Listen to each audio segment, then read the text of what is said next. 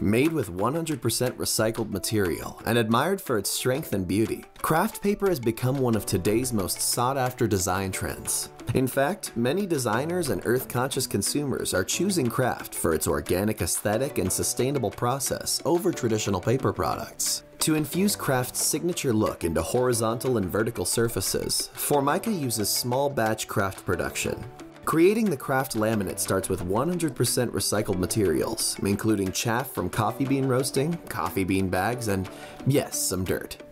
This ensures each kraft sheet is highlighted by unique patterns of speckles and fibers. The kraft's pulp is created by blending these organic materials with bits of recycled paper and water. Once the pulp is finished, it's pressed and dried through a series of rollers and ovens. Finally, the paper is inspected by our technical artists and design team for an authentic kraft paper visual. Upon final design approval, the recycled kraft is pressed into high pressure laminate. See more design creation stories at formica.com.